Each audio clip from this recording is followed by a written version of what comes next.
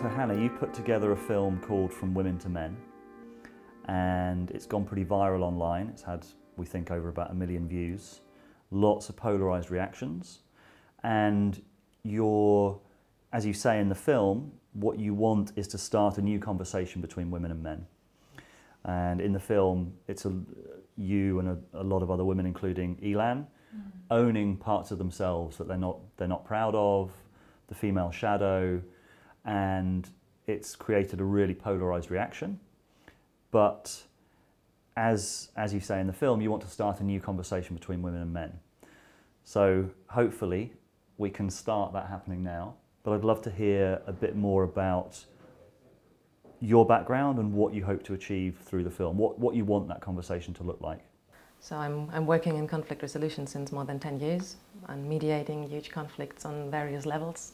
It's always, the experience is always that our concepts, we are so used to thinking of either I'm right or you're right, either I'm the victim or I'm the perpetrator, either I'm wrong or you're wrong, either it's my fault or it's your fault, that they're never true and that they're never leading anywhere. I just realized that it's as true. What is true for any every conflict is just true for the wounding between men and women and in the gender war as well. And I'm really dreaming of a new step and a new dialogue. At the cultural level, it feels like we're in a really dysfunctional relationship between men and women and that I guess is what where the, the, the film came from and also what we're trying to achieve through this dialogue as well. So to me it's very interesting to analyze the wound between men and women because I think I had some special insights in two years of prostitution um, 10 years ago in my life. And when I started writing a book about it, like just uh, one year ago, I realized I'm not the victim and I'm not the aggressor. I'm both roles as a prostitute. And I think prostitute is mainly seen as the victim. And the client of prostitute is mainly seen as the aggressor. And when I started writing about the client sexuality as I remember it I felt oh my god they are not the aggressors they are not the winners and no client on earth feels like a winner they are suffer they're suffering so deeply and are helpless and overwhelmed and like also victims and I think by writing this, I somehow surprised myself. And then Hanna wrote to me an email because she read this book when I think your script just just came out of your inspiration. And I think then we had these parallels and felt this is a new aspect or dynamics between the sexes that is as needed as Me Too. And then I think due to this book and the parallel to the film, we got close with each other very soon. And I was reading the script and feeling, whoa, after all the challenging stuff that I'd written, this is really challenging and this is really taboo.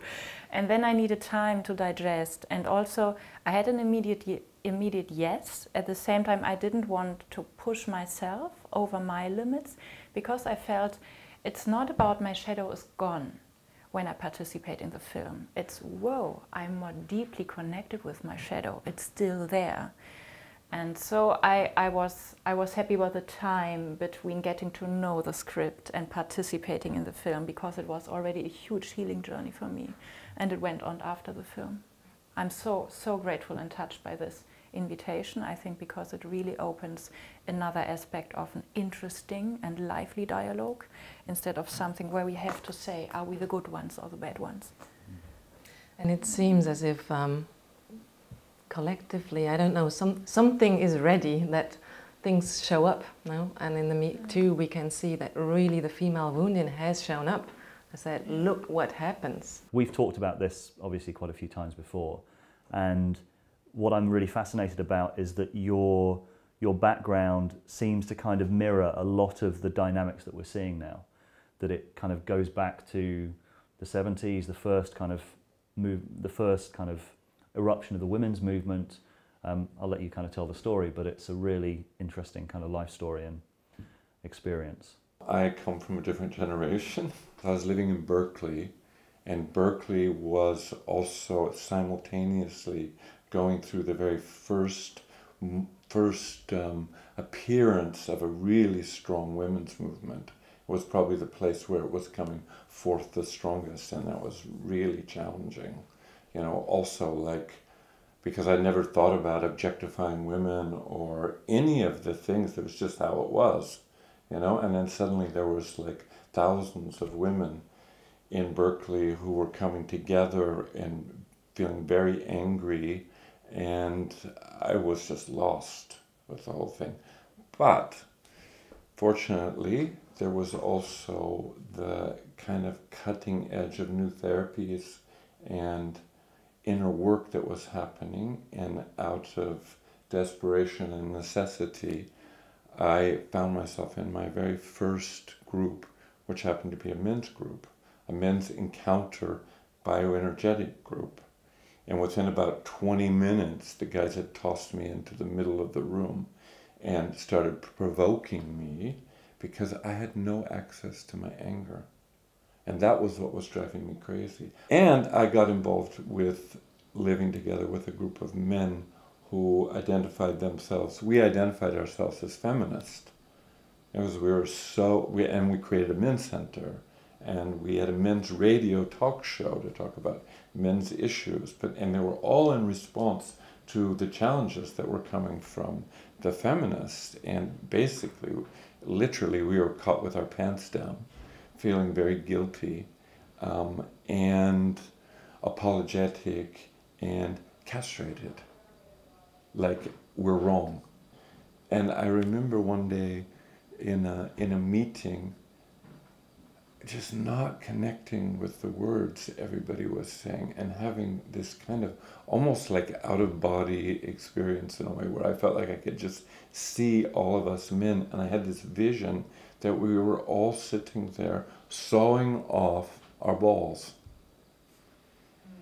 And I was like shocked by it. And I was like, and I realized in that moment that it wasn't going to, it wasn't going to free me. You know, and I, about after seeing that. Nor about, the women. Pardon? Nor the women. Nor the women. That it wasn't the answer. And I didn't feel, all of a sudden I felt separate from that group that I had felt very connected to. And uh, about 15 minutes later, I stood up and resigned from the group. And I just said, there's something going on here. And I didn't name it as castration. I didn't understand that really, even at that time. I didn't name it as guilt, but I saw it as guilt. And I saw it being turned, everybody was turning against themselves. We're so wrong. We're so bad. And uh, I got up and I walked out and I went out to dinner with my mother. and I, became so interested in this subject of the healing of, ma- of the masculine and the healing of the feminine that I became a therapist and it became one of the main subjects that I specialized in and I still lead workshops and trainings with that. And it's uh, so it's a work that I have a big passion for.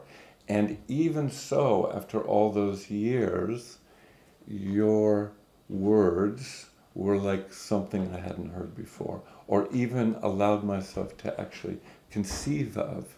So it was also a kind of waking up moment for me. And, and then with Me Too coming out and feeling that anger coming out and having my own history of realizing how my empowerment came by really getting in touch with my anger and letting it come out, there was a big bravo, yes, you know, about it, you know.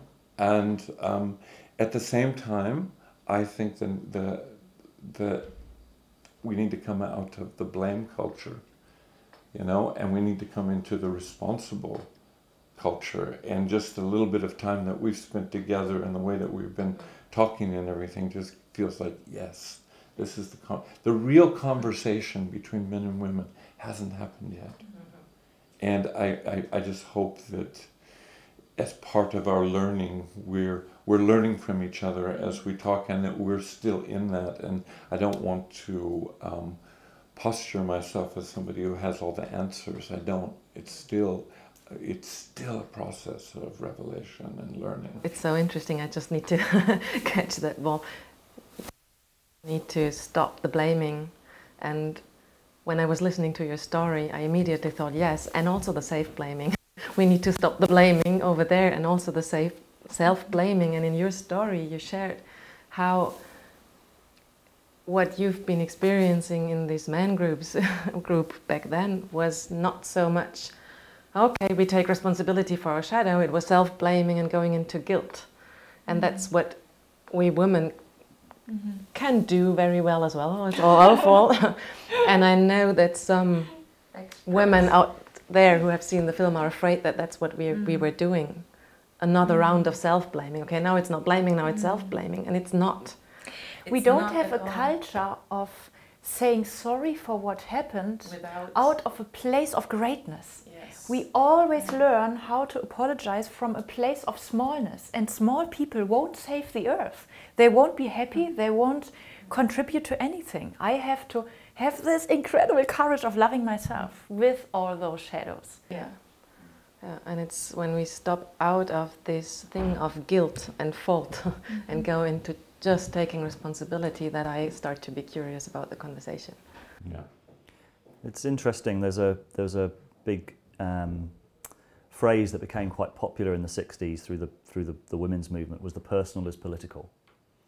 And what's really interesting is your film is very personal, very very personal, but it's also putting a finger on one of the kind of the real um, source points on the culture. Um, especially coming so soon after Me Too, the sight of kind of so many women owning their stuff. Um, even I, I, have to admit, when I watched the film, when I watched the poem first time that you delivered it, I was immensely touched by it, and I have felt touched by it when I've watched it. But I've also watched it and felt, wow, this is so um, countercultural, for want of a better word. It's so opposite to the narrative that, that, that we're in as a culture right now that I've, that I've also felt, wow, it's unbalanced. And I do feel that it's unbalanced in some way because it has to be matched by a similar ownership from the other side. Certain parts of the media, I would say at the moment, are very, have a very ideological perspective, a very sort of feminist ideological perspective.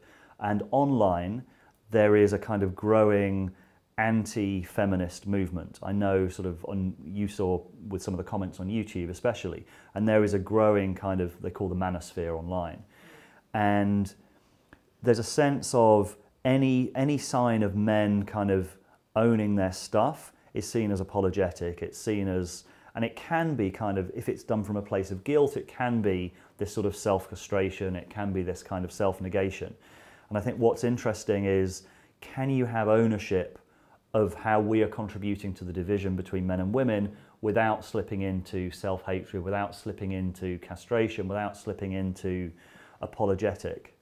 Um, and I think that's something that I find, yeah, that, that rebalances the, the film, kind of the ownership of, of, of our stuff as men. I think it is very possible. I think rather than, you know, um, going to guilt, it can be self-revelation, and revelation expands you and makes you happy. And and as you pointed out in your thing, it is empowering. It is you know, it's like my shadow will play out negatively as long as I try and keep it in the closet, and it will distort my life. It will bring unhappiness to me, and it will bring unhappiness to the people around me, and it will perpetuate the the need then to blame other people for the consequences of the ways that it played out. So to me, it's a very obvious truth. It's still a difficult one because the shadow is in the shadow. It means it's hidden. It means it's not apparent. It's not totally obvious, you know. And I don't know if when it ends, you know, and when the when the self discovery process ends. But you know, um, it's it's been with me for quite a while that understanding that I need to own my things, and I've certainly lived out uh, with women things which I feel shame for and I feel apology for, but I have an understanding about right now and a compassion towards myself. I didn't get taught. I didn't learn how to be with women. I didn't learn how to be what what how to deal with this strong sexuality that I had. I didn't and, and I grew out of a culture that did objectify women. And I came into certain positions of, of power where it was very, where I was a desirable man and I could have the women that I wanted. And there were times when, you know, I abused that. I, I lied, I minimized. You know, I didn't, I, I, on one hand, I've been like this kind of responsible, kind of growth aware guy and everything, but the, so I can cover myself kind of like politically, spiritually correct, but I can still tell a story in a certain way that indicates more availability mm-hmm. than I actually had. Mm-hmm. And I've seen myself do that a lot of times because I wanted to go to bed with somebody. And, and, and so, but I said all the right things, you know, but I didn't. Mm-hmm. You know, and there was still a taking advantage of in some way. And it, and it hurt people. And I, and you know, and I, and I, I try. And it, it, it, it's, it's almost like my brain is conditioned in a certain way to try to get what I want and to tell the story that I think will work the best to get what I want. And sometimes it comes out of my mouth in a way that's not really totally straight. And, you know, so that, that lying to women with and, and in some relationship to sex, having sex, telling what happened to a partner when I come back, the, the, the changing of that, it's been part of my character for a long time. And it's something I just have to continue to own. And every time I do, it's such a relaxation because the lie doesn't really create contact, the real contact that I want. There's always a sensing somewhere that something's a little bit off. And when I just come clean with it, you know, you know what? I have to tell you something. I was lying. This is the truth this is what I did, or this is what I thought, or this was my intention. Everybody relaxes in the mm-hmm. truth, mm-hmm. and everybody stays a little suspicious and mm. pulled back in the lie. And, um, you know, I like to think and be able to look straight into that camera over there and say, I have finished with that story, and I can't. That would be a lie. Mm-hmm. I don't know. I don't know that I am, you know. I might have, my lust might overwhelm me at some moment, and I might use very sophisticated seduction skills that I have to, you know, lure somebody in for my gratification, knowing full well that I don't, I'm not going to be with that person. And what I love so much, besides many aspects of your story, is it takes so much time, so many centuries. So men who want to learn how to clear their stuff, really clear it. And I think they have this ambition of, I want to be really a cleaned up guy, and that's so great. Okay, then you deserve a few centuries of studying it every day of your life. And you know what? It's not the women who are worth it who are going to sleep with. You are worth it. Yeah. You are doing it for yourself. Yeah. And I think this is a very big key that especially men in our fast food culture don't learn. They deserve time for learning because this is deep stuff. It's not something that they can buy, it's not something that anybody learn to perform in. And it's not their guilt that they have to unravel this stuff. And I think then, and this is when you said like a few minutes before, I want to apologize. And it reached me. What me reached is something so touching because I experienced it so, so little from men in our days. They say sorry and they don't need me. They don't need my reaction. They are with themselves. They are with their balls. They are with their boundaries. They are not something that I can fall into with you as sorry so I can get what I want. It touches me so deeply. And this is not because you learned it yesterday, but because you started studying it 40 years ago. And I just want to say thank you for that because what I experience in my nervous system, and I would add to personal is political, personal is collective. What I experience is something that really matters to me. And I think this is something that I might say to many women in the collective field. Thank you. Something more that I could feel I could feel a relaxation in my nervous system when you were just saying that's the truth.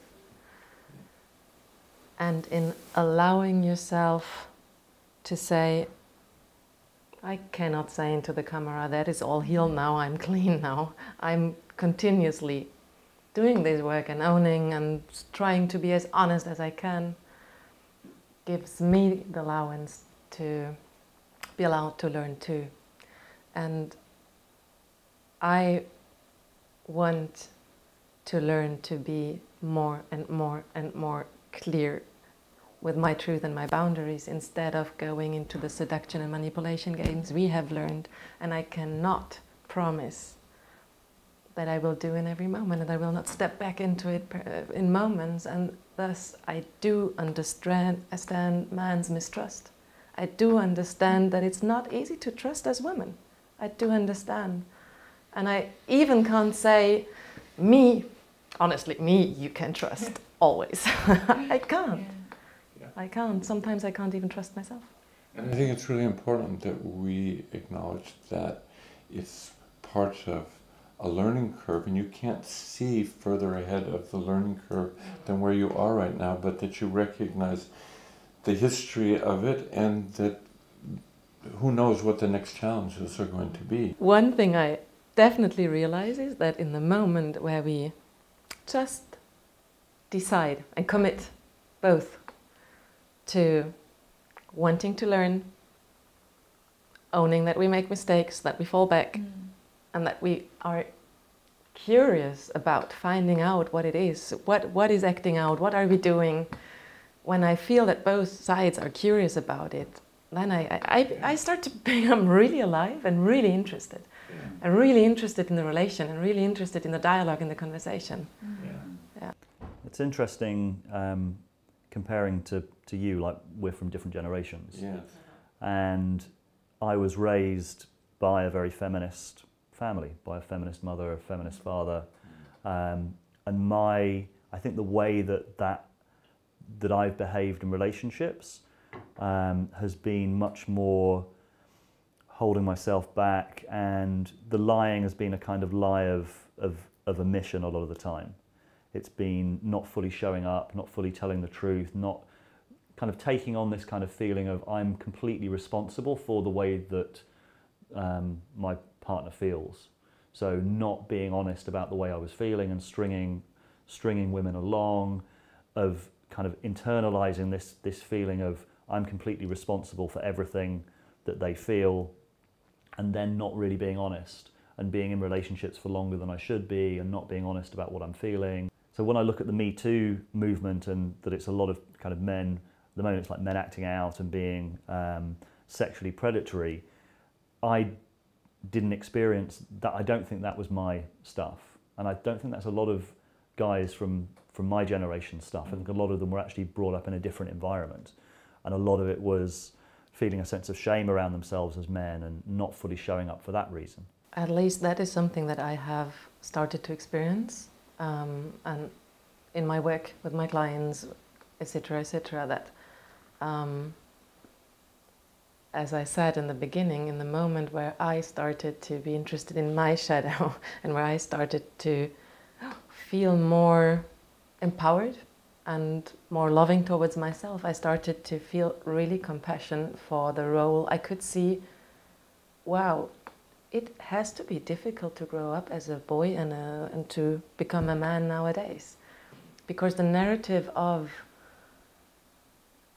men are perpetrators, men are violators, men are abusers is so huge and out of good reasons of course it's the, this does not come out of nothing but no man is born as a abuser and of a aggressor and as As a problem at all. it's a biological problem. So yes. and you get born and you grow up with these images of manhood And I, and I think this is something that Rafia talks about really well that if as a man you grow up feeling that, you then suppress a lot of the kind of the natural aggression or the natural kind of feelings. You, you, don't, you, you very much don't want to be like those other guys. And actually, that leads to a sort of um, Self castration. Mm. And I see male shadow of perverted aggression. So when we hear the word aggression and male aggression, we, we think about men uh, taking their gun or taking their penis and raping a woman. And I think these are perverted um, expressions of an aggression that the men had to suppress before it got into this form. So even our language is very it's it's very subtle. What what we are looking for in the first place is an instinctual anger of protecting boundaries, and that's for the sake of peace and not for the sake of war between the sexes. So yeah, and that's so interesting the way you say that because what I work with a lot of times with men is that they they have rejected a side of their own masculinity, like the roots of their masculine, because they want to be like anything but like all those guys who they see as responsible for the problems. And so they, and, and they think that that's a, a level of aggression and violence and sexual abuse. And so they repress that side. And of course, then it gets acted out it comes out in all kinds of things. And a lot of times, what I'm doing in groups with men is getting men to go in and really feel that layer of the masculine where there is a level of aggression and frustration and anger and hatred and encourage them to just allow it to come out and rather than that overwhelming their personality like they're afraid and them becoming that way, they find that it's actually not that much. It's like it's a layer. But as long as you deny that layer, you know, you, you lose your roots and you lose your instinctive connection to masculinity and to, and to the truth that you could express in your sexuality. You know, and so that's a big part of like the men's work I do is to get men to go into that. It's how culture creates the specific male shadow of aggression, and it's like every shadow. The thing is this, and it's healthy and it's good, but a shadow is a monster. And then you say, You want me touching this monster? No way. Yes. And you say, Honey, trust me, I'm doing this for 40 years. It's worth it every time I do it. And then you say, hey, come on. And I see, I think every, also with female rage, I think this is not that big difference. Whenever I go really into rage and really into anger and stay with my body, I find myself to be the most peaceful being on earth. The last thing that I planned, I just planned to somehow survive this wave of rage. And then, wow, I'm okay. You are okay. That's, it's quite a shock how positive it is to, to discharge suppressed aggression. Because this, cause this thing about the repressed or the repressed aggression, which then, as any, any shadow does, then plays out, I think is actually the unspoken dynamic behind a lot of the Me Too stuff that we've seen. Because a lot, it's come out that a lot of the people who were accused of um, acting out in ways during Me Too identified themselves as male feminists. They identified themselves as not those kind of guys. And if you identify yourself as I'm not that kind of guy, then you're suppressing this thing and it comes out sideways. And I think this is this is part of on a cultural level. I think unless we realize this, that actually we need to encourage men to embrace their masculinity, to live that out, to be in, in a full way, then they are discharging it. They're not pushing it down into the cellar and then it comes out sideways. And I think as a culture, we're, we're actually probably going to encourage more of that kind of stuff because we're teaching men to be ashamed of their sexuality, we're teaching men to be ashamed of their masculine aggression. I think that's actually going to have the, the, the reverse effect to the one that we think. And, and I want to add that when a group of men go through that, and it's something I would try and bring in rather early in a men's group, they come into a relaxation and, like you said, a peacefulness and uh, and this thing of male bonding becomes very real a support for each other and a love and a kindness and a, and uh, and almost a cessation of a certain kind of competition that is there when somebody feels castrated or when somebody feels not empowered then they're always having to prove themselves and they come in as brothers and support and it's one of the most beautiful things that happens in men's group it, it isn't that they arrive, okay, this is home and I'm a, I'm a beast, I'm a rapist, I'm a killer, I'm a thing. It's quite the opposite. They go, oh God, I feel so good and I love being a man and this, and they can feel their legs and they can feel their balls and they can feel that kind of connection. And it's a kind of simple healing, in fact, of a, of a tremendous amount of what's been absorbed from the culture which is making masculinity so toxic. Mm-hmm. And, and I want to say that, it, that it's also right to really challenge masculinity and the way that it acts out. The way that it acts out when this, when a man is castrated, and when he hasn't owned this part of himself, he really is a bit of a monster. And I think the big misunderstanding collectively is um, that we mistake this expression of distorted, castrated masculinity as masculinity. Mm-hmm. So many, when I listen to many feminist women, um, not all of them, of course, but many, it sounds as if that was the essence of masculinity, and thus we have to fight it. And this is a huge misunderstanding because this is not natural masculinity. This yeah. is already coming out of this castration of losing access to natural masculinity and also same as for, for as yeah, women, for women. To, to, to a natural power. I think both femininity, I was so turned off of being a woman when I thought what this culture offers me as typical feminine, it's, it's the loser card. Who, who should want to have tits? Nobody on earth. It's just being, being the secondary class of human beings. And so when I started to question, is this right? Or am I right and have every right on earth to unravel my kind of femininity? I became curious, and I think this is so important for men too. They want to gain back their masculine essence, mm-hmm. and so they have to be curious about what comes up in themselves when they allow to set boundaries to this conditioning or this cultural imprint what masculinity means. Mm. So we, it's almost like we need two words. We need and are we talking about this masculinity yeah. or the true masculinity? Well, boy psychology and man psychology. A lot of people yeah. divide it okay, into that. Okay. So yeah, a lot of what people are are works. protesting against or attacking is boy psychology rather than man psychology. It's not fully yeah. But, mm. but it goes into this but, direction. And in both cases, I think like a real rite of passage at the time of life when we're coming into puberty, where you're welcomed into the feminine and mm-hmm. into womanhood, and you the secrets and mysteries of it are revealed to you by elder women, and the same for men. My life would have been so different, God, if I had had that, if I had gotten the teaching in that way of what it, what does it mean, and I felt included, and I felt the support I felt like a group of men, or just even my father, you know, had my back and were there for me. You know, it would have changed everything. You know, I just, I, I was so, I really, the amount of suffering and, uh, and pain and loss and being alone with it and just completely confused. I would like to come back to what you have been sharing because I think it's really interesting. You have been sharing that your personal experience is quite different in a different generation. There's not been as much conditioning, let's say, of um, women are objects. Has more been you have to care for women, for women's emotion, for you are responsible or let's say guilty when a woman feels bad. This kind of stuff, and I imagine that this brings along a lot of holding back of own needs, wishes, whatever, truth, and that this can bring a lot of rage too. I'm, I'm curious. I'm curious to hear about you. Is there um, rage about that, and is there what, what is your experience with that?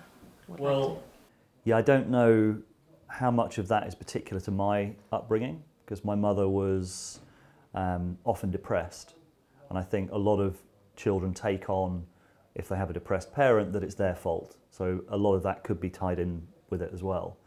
Um, but I also know from the inner work that I've done, and I know you've done a lot of inner work as well, if you dig down, it's almost universal that you have some kind of anger towards your parents. You were in this kind of very, you, you, you pretty much, you all of your emotions you, you kind of put onto your parents. They were the world and they never they were they were there, they weren't there, and when they weren't there, we all have this kind of infantile rage that I think we all have on some level inside us, and I think getting that out in some way is kind of an essential part of of getting more healthy as a as an adult.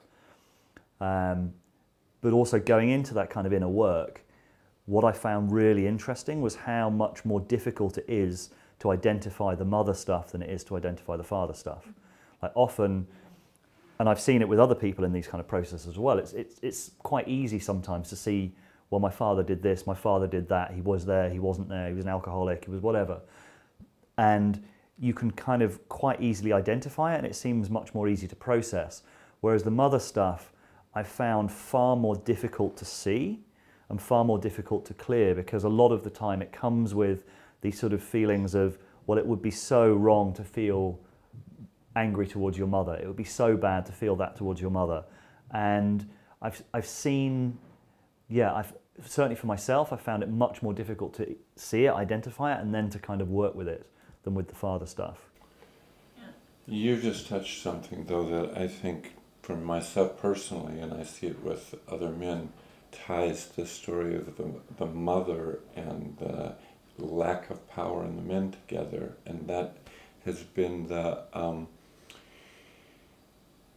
this feeling that you've become very very sensitive to your mother's feelings and the changes of mood and whatever's happening in the house and um, it creates a kind of pleaser mentality in a way that's trying to damage control women and I've noticed in my relationships, I carry that sensitivity. It's like my mother was mostly really quite a bright and happy person, but when she would go, you'd feel the air change, you know, and there's something going on.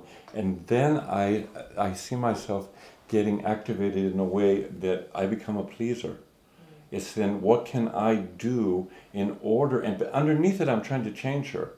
I'm trying to damage control the the emotional woman you know and and what it brings out and I, I know it from my own experience and I see it in other things it brings out the contempt of the woman because the women hate because I become regress into a boy mm. in that moment. I'm I'm afraid basically of the feminine feelings and that maybe some kind of negativity is going to come out. And so I start trying to find out what's wrong or make things right or please or go to my mind and try and talk to her, talk some sense into her, and damage control the whole thing. But it's all motivated for by by my discomfort of that situation, and it's a it's a real challenge for me even today if I feel that my woman is going through something and to let her be. Mm-hmm. You know, and and not come in with oh can I you know start doing nice things for her or or um, trying to talk her out of her feelings. How can I fix it? Yeah, how can I fix it? Trying to fix a woman. Yeah. You know, and and it and it's a sure thing to bring out the woman's sword that wants to, you know, whack my balls off. You know, because they, I think because I don't think a woman wants a boy. And so to really investigate that whole part, you know, of um, the fear of women's emotions. And the fear and, and risk a woman's rejection and anger is a big step in growing up to being a man. And I and it's uh, it's a scary one to risk the woman's anger you know, um, and rejection. And if, but if we don't, we become pleasers. Mm. And we're not really present we, then as men, and we're not really there, and then and then we start to devalue and to depreciate. Totally, yeah. totally, and it's the yeah. right, it's the and it's the right. Yeah, you can manipulate it, and you can castrate mm-hmm. and reject. And once you castrate you usually we do both in order to go to the hot guys. Usually we do yeah. both. It's really Usually we do both. Mm -hmm. First we man manipulate it and then we castrate mm -hmm. Yeah. And so for me, it's a real, and that that's part of the complexity of the relationship with the mother, because the mother was holding the basic energy of the house, and of course I want to be in the loving, happy, merged, relaxed space, and when all of a sudden the the vibe in the house starts to get tense, and the chill comes in, and then I know something bad is going to happen. I know a fight's going to erupt between my mother and my father. Maybe my father's late coming home from work, which means he stopped off to have a drink, which means my mom is, is really activated and it's going to be a fight. Then I'm on alert. My whole nervous system is, is on alert and, and I'm trying to damage control it. And I've lost myself. Mm. You know, and it was a very real fear as a kid, but I've somehow to confront that place as a man and see it. And then say what I really feel. You know, instead of trying to manipulate, because that's where the ma- manipulation goes in, and just come out and ask really straight, hey, what's going on right now? You know, and oh, be there and be present and grounded in, in, in the masculine and recognize that something's happening and not be in trying to fix it or be in judgment of it, but be actually really curious. There's that word curious again. I'm really curious what's going on right now. And it's so interesting, for me, it's so interesting to hear and to realize how this having learned that somehow manipulate the situation and the other person is the only way to damage mm-hmm. control or to is mutual is because we as girls have mm-hmm. learned that mm-hmm. from our mother too. Maybe slightly different reasons. I can speak for myself and i know this is true for many women i know that we have not learned from our mothers that a girl and a woman can have clear boundaries and say what she thinks and what she means and say no and stand up for what is right for me. I have not learned that I had no role model for that. It's Yeah. always now trying to make it right for everyone else. And in order to get it at least a little bit right for yourself too, mm-hmm. manipulate and It's trying to- always trying to find safety by going to the outer world.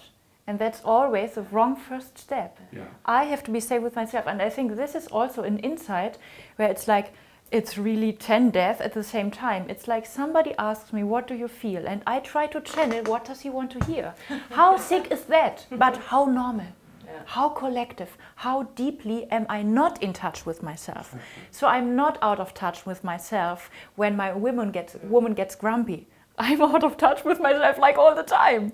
So this is something of where we where we really I think get humble and wise around how deep the wounding is mm. and how big the gifts are that we can get on this way. Mm. Because what I notice is that if I don't lose my ground mm. and I don't go into the pleasing boy and I don't go into the damage controlling thing and I stay grounded in myself and I ask from a grounded place, hey, what's going on?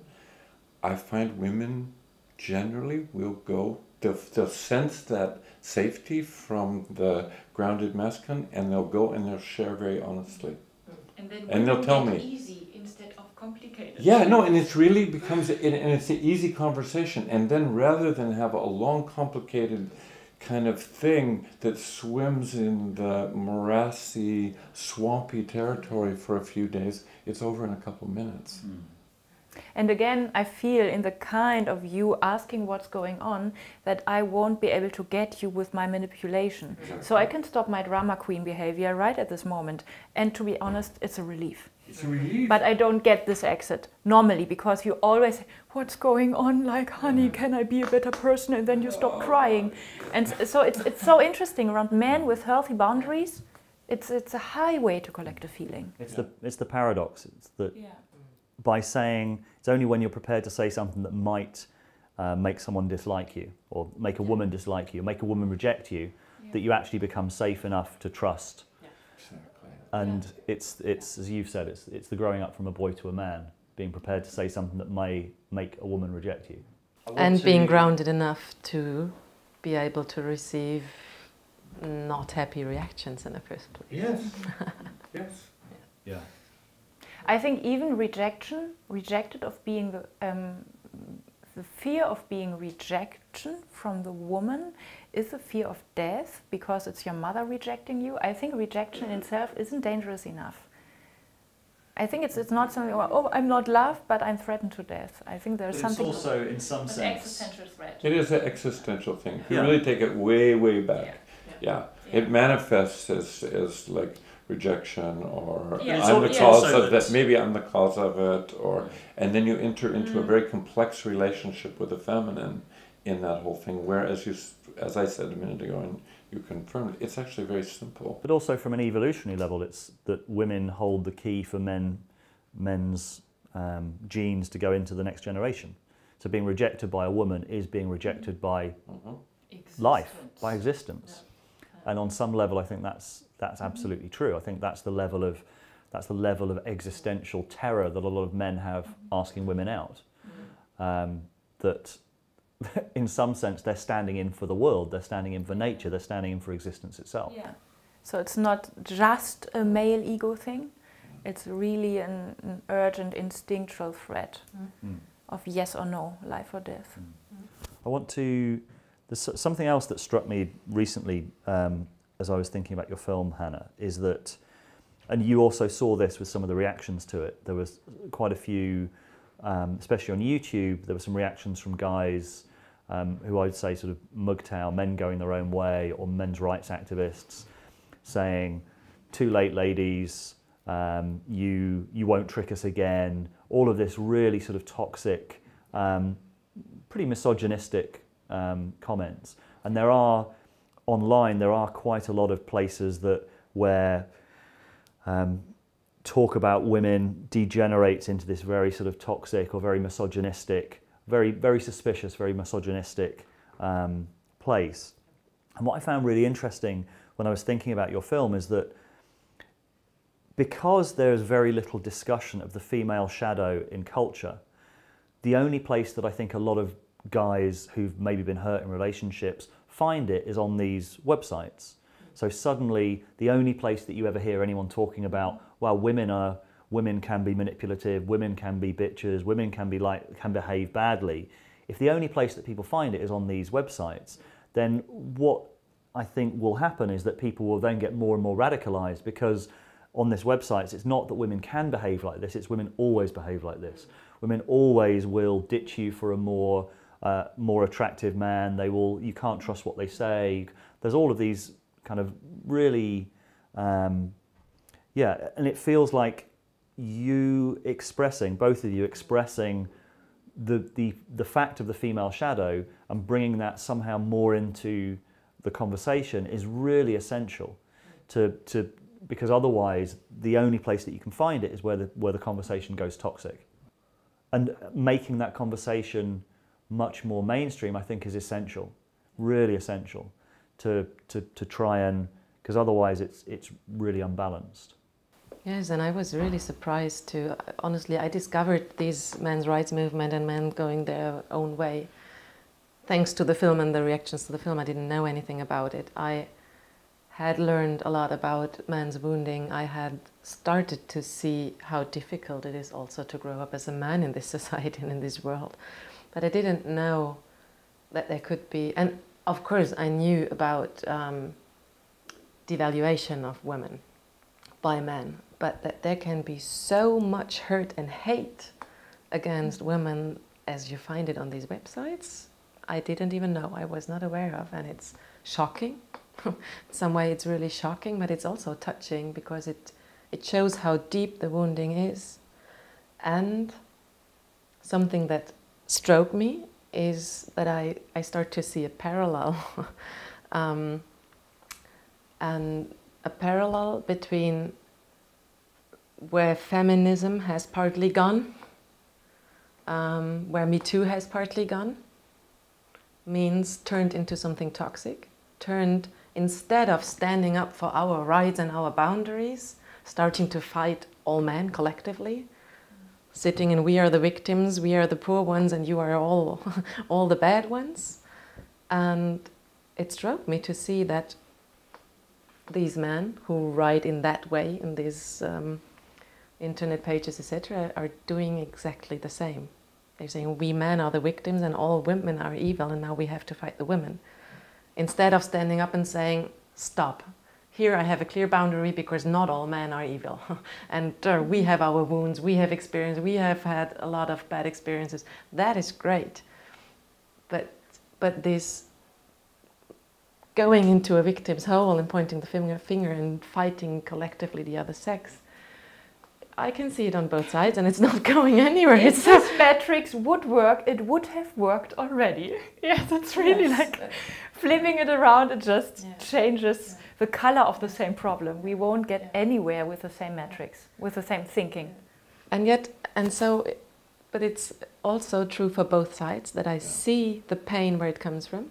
I see, I've seen it for women first, to be honest, um, but I see it there now too, and I see many things they have gone through, and I'm I'm happy what you have uh, pointed out that yes, that this film might be one contribution. I hope it's just the beginning of a new conversation, um, a beginning of a contribution to offering space for having these conversations in a more mature way and in a more constructive way. And I am actually touched by quite some feedbacks I get from men who have experienced very badly, ba- have very bad experiences. Many wrote about their experience in divorce, not being allowed to see their kids, mm-hmm. having been, well, even also I, I, I received letters of men saying I have been not, not even only emotionally but also physically abused in my marriage. I have stayed because I have two wonderful kids.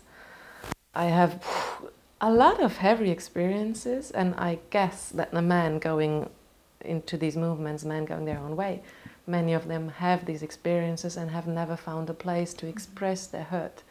And I'm, I'm really touched and happy that thanks to this film, men show up and write about these experiences without hatred but with, with hope.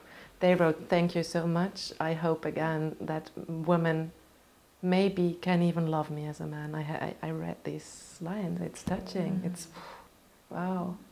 And I, that's my hope for this film and the subsequent work and the work that's happening out of Rebel Wisdom is that it will encourage healing and offer possibilities other than blame and victimhood. And without judgment towards the people who've taken these very strong positions because we don't know what happened to them. You know, they they they formed their personalities the way that they did, and they came to these beliefs out of real experiences.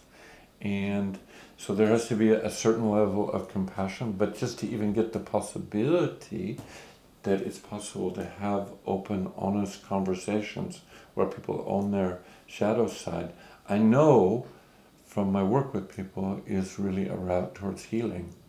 Now, how quickly that is taken up or how broadly that is embraced remains to be seen. You know, but I, I, I, that's why I respect so much the work that you're doing right now and going around and talking to all these people who I think really do want the healing to happen and really do want a real. I mean, how much richer would our lives be if we really can open up and talk and share and be and how much more joyful and I mean it's just so obvious. I want to repeat what you have been saying in the beginning.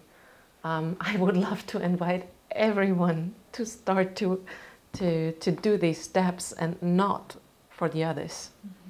Me as a woman, I am not doing it for you. I'm really doing it for myself. And you should do it for yourself and not for us. Because it's so freeing. It is stepping out of a victim's place is the best thing I could ever have done for myself. That's the truth. And my truth is my heart wants to love. And if I stay in the victim's place, stay in the blaming place, I don't allow my heart to love and I suffer from it. Maybe you too, but in the first place, me, I suffer from it.